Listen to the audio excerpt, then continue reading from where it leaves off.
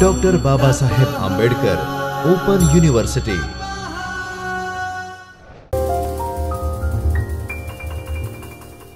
hello students welcome to the lecture series for the subject mobile operating system I doctor Himanshu Patel welcome you from the Chaitanya studio of doctor Baba Saheb Ambedkar open university in last lecture we have discussed about various types of operating system First of all, we have discussed network operating system which is used to manage network resources like computer nodes, printer and other devices. We have also discussed distributed operating system which is used to serve multiple application and users through multiprocessor. We have also discussed real time operating system which is used to handle the on time situation and give immediate response. And we have also discussed embedded operating system which is used to made to handle specific task. Now, in today's lecture we will discuss about process management. So,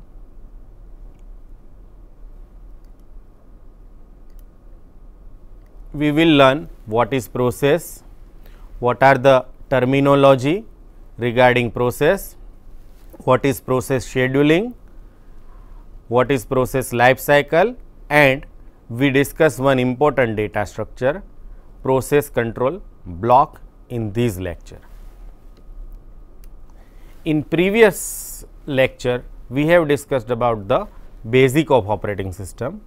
The main function of operating system are process management, memory management, security, mechanism, user management, file management, device management, etc.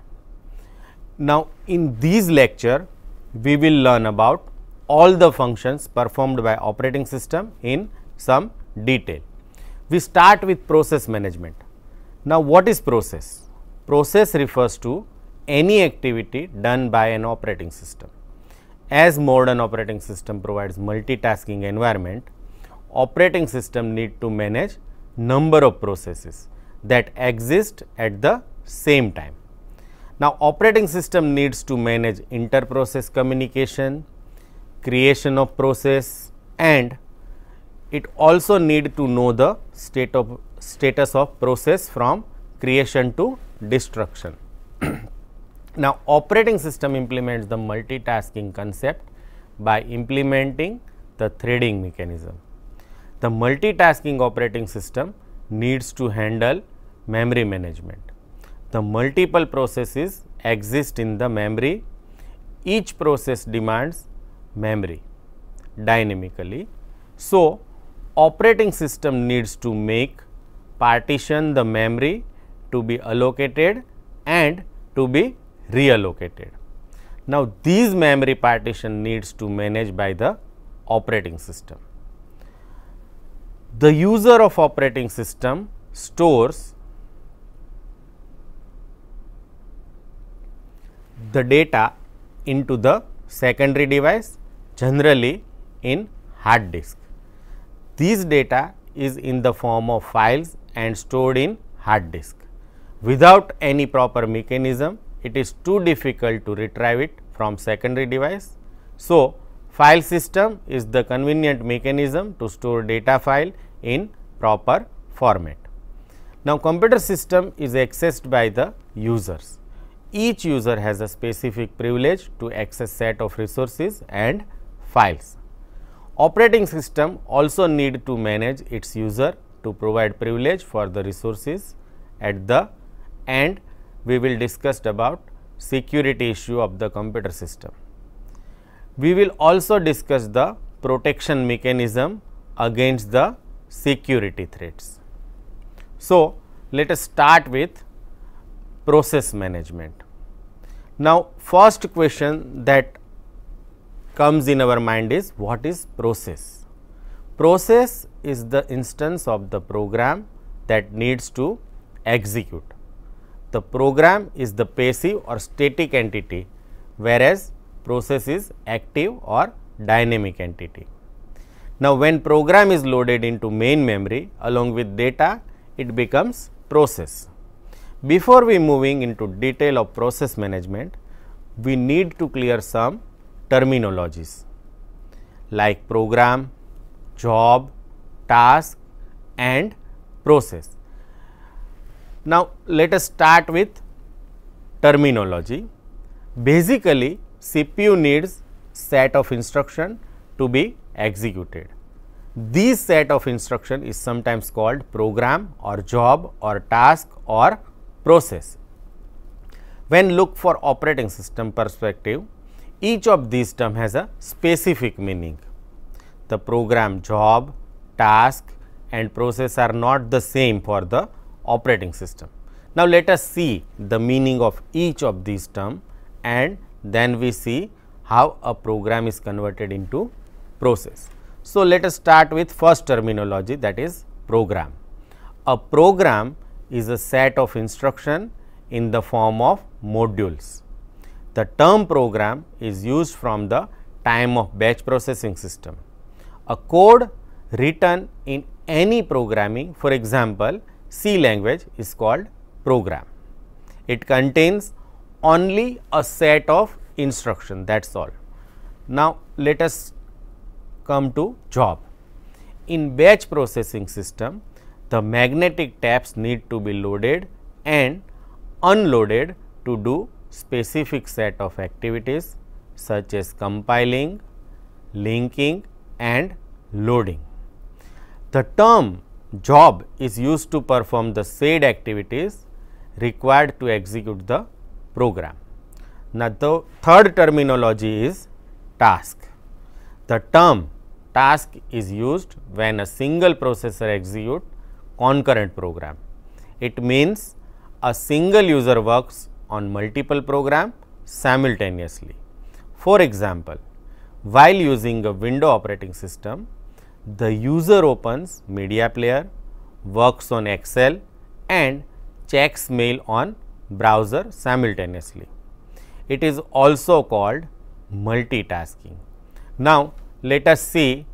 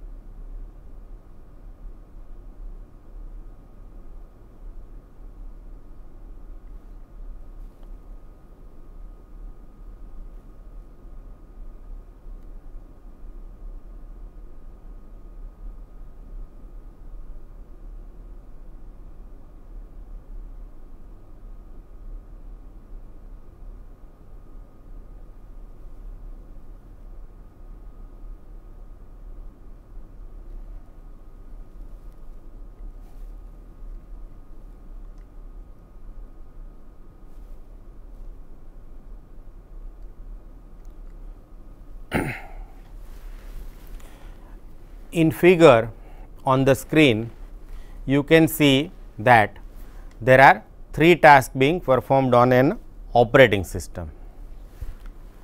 So, this is example of multitasking. Now, fourth terminology is process. The process is different from program and job. When a program that is ready to execute is loaded into memory, it is called process. A program ready to execute is able to compete for the resources. The resources such as CPU time, memory, IO device, etc. When a process gets CPU time, it requires several other things to complete the activity. These all things make process environment. The process environment has program counter or PC, code section, data section, CPU registers and stacks. Now, on screen on screen you can see a glimpses of process environment. Here you can see various parts of process environment such as code section, data section, program counter, stacks and CPU register. Now, let us try to understand each and every part. The program counter is used for moving to next instruction when performing sequential execution. Data section stores the value of global and local variable of program and code section stores the instruction of program along with the program counter. CPU register and stacks are used to store data. Now, let us try to understand the difference between program and process. On screen you can see the difference between program and process. So, we can summarize that program is a collection of instruction or it contains code section only, while process is a collection of instruction which con, con, consists of code section, data section, stack, CPU register and program counter. We can say program is passive or static entity while process is active or dynamic entity. Program never competes of resources while process compete for resources that we have already discussed. Now, let us try to understand process scheduling. Now, after understanding the basic difference between program and process, now it is time to know how program gets converted into process. We have already discussed that a program ready to execute is called job. When job is ready to execute, it is appended in the queue which is called job queue. The job queue is placed in the hard disk. Then particular job is selected from the job queue and loaded into the main memory through job scheduling. As soon as job is loaded into the main memory, it becomes a process and is stored in process queue. All the process placed in queue is called ready queue and they all are in waiting for their turn for CPU allocation. All the processes in ready queue are competing for CPU and other system resources. The process from ready queue is selected for the CPU execution and process is transferred from main memory to CPU. The activity of selecting next process for execution is called process scheduling. It is also called CPU scheduling or short term scheduling. The scheduling functions are performed by scheduler. On screen you can see how the process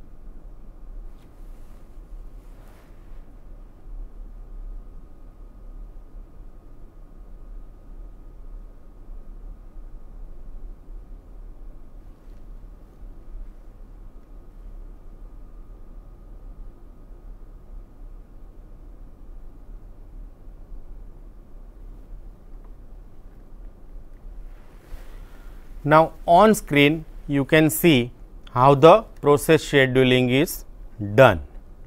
First of all program is loaded into job queue which is called job scheduling and from job queue it is placed inside ready queue in main memory and from ready queue it is allocated time by the CPU using process scheduling or dispatching. Now, the scheduler use scheduling algorithm to select process from the ready queue and transfer it into the CPU. Various kind of scheduling algorithms are used by modern operating system depending on their process management scheme. Although most widely used scheduling algorithm for the generalized operating system are many. The first scheduling algorithm is called first come first serve or FCFS. Then there is a priority scheduling and third type of scheduling is shortest process next or SPN. We have also shortest remaining time next or SRT and finally, important round robin scheduling algorithm is there. Now, let us try to understand process life cycle. Now, as we know that the process is activity, process is active or dynamic entity, it changes its status periodically. It passes through various stages from its creation to destruction. The process life cycle is divided into 5 states. Now, what are that states? Let us try to understand. The first state is new. Now, whenever new job is appended into the job queue, the process at that instance is in new state. At this time, process is still on secondary memory or hard disk. Then it becomes ready state. When job is selected from job queue and transfer into main memory in ready queue, the process is in its ready state. At this point the process is ready for execution. Then comes third state which is called running. Now, scheduler selects particular process from ready queue and dispatch it into CPU for execution. At this time process is said in running state. The process in running state competes for the system resources and in this state CPU executes instruction of the process. The process may not remain in the CPU till it executes all instruction. Whenever time quantum gets completed, CPU takes away running process and choose next ready process for execution. The fourth state is block block state. During the execution of the process, it may encounter an instruction where it needs to wait for IO device or some other event. Now, in this case CPU will take away the process and CPU is given to other ready state process. Therefore, a process that is waiting for the IO device and taken away from the CPU is, is called in block state. The final state is terminated. Once the process has executed all its instruction and is about to complete it in a terminated state.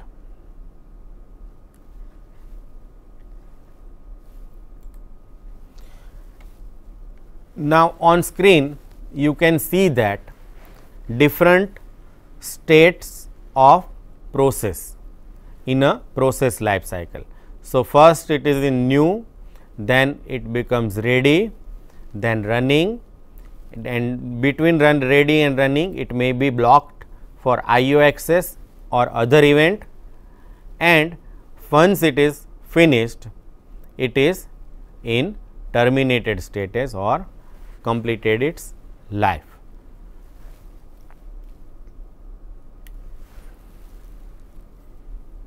Now, the process changes its state whenever an event occurs. The event causes state transition. Now, there are four events which help in state transition of the process. Now, what are those events? The first is admit which transit process from new state to ready state. The event takes place when process transfers from secondary memory to main memory. Another is dispatch which transit process from ready state to running state. Now, these event transfers the process to the CPU for execution. The third is interrupt which transit process from running state to ready state. The running process may be preempted from the execution by some other process. It may also happen due to several reasons. In such a case, running process need to transfer from running state to ready state. So, these are the different type of transit state. The last is IO or event wait which transit process from running state to block state. The running process reaches and instruction that needs require it to wait for the IO device or some other event. At this time, the wait event transfers the process from the running state to block state. Another is IO or event wait completion, which transfers process from block state to ready state. When the block process waits is over, it is assumed to have accessed the IO device or served by the event which it was waiting has been over. At this time, wait completion event transfer process from the block state to ready state. And finally, exit transit is there which transfer process from running state to terminated state. Now, when running process complete, completes execution of all instruction, the exit event changes its state from running to terminated. Now, let us try to understand one important data structure in process management, which is called process control block or PCB in short. As already discussed, the process environment consists of code section, data section, CPU registers and program counter. But these are not sufficient to manage the process. The operating system requires some additional attribute to control and manage processes. Now, all these attributes are stored in a stack known as a process control block. It, it is also sometimes called process descriptor because it describes the process state. Each process has its own PCB. That means, when new process is created, its PCB is also created and when process is terminated, the PCB is also terminated. The PCB is responsible to manage and control its process during the process life cycle. It stores all the relevant data which is needed by the process during its lifetime. Now, on screen you can see the stack of process control block.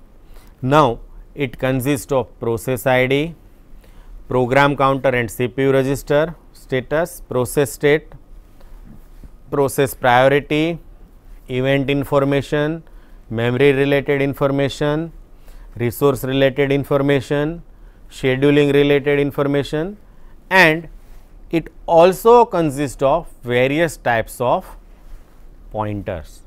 So, we can see process control block stores many important information regarding process. Now, the first information it store is most important which is called process ID or PID. It is unique number to identify particular process. It also stores program counter.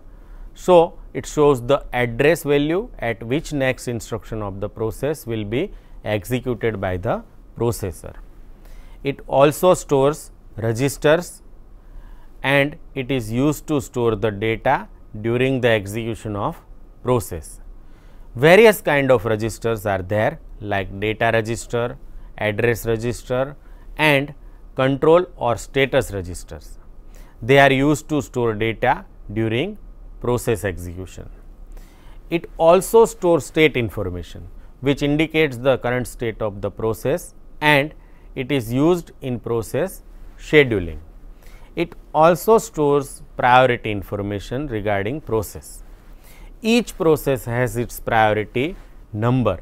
Based on it, scheduler gives preference to a process. High priority process will execute first. It also stores event information.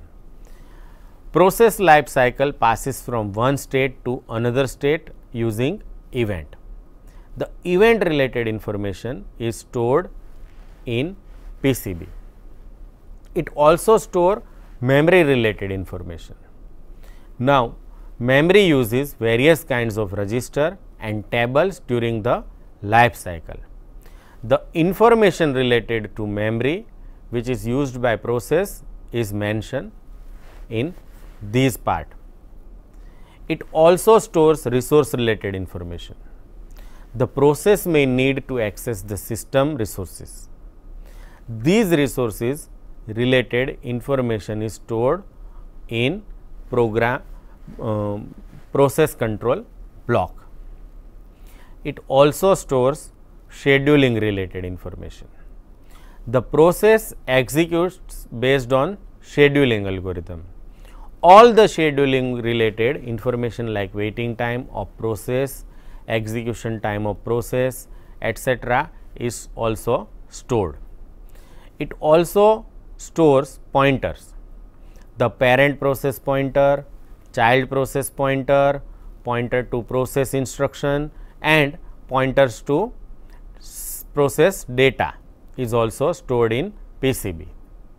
Now, we have understand process creation and management, life cycle of process and process control block.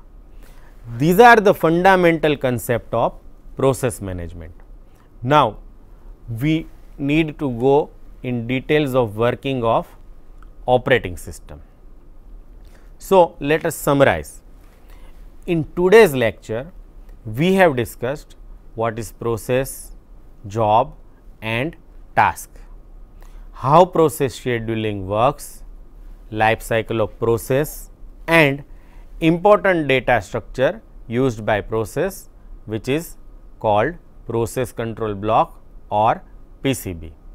I hope you enjoy this session. Thank you and happy learning. या पार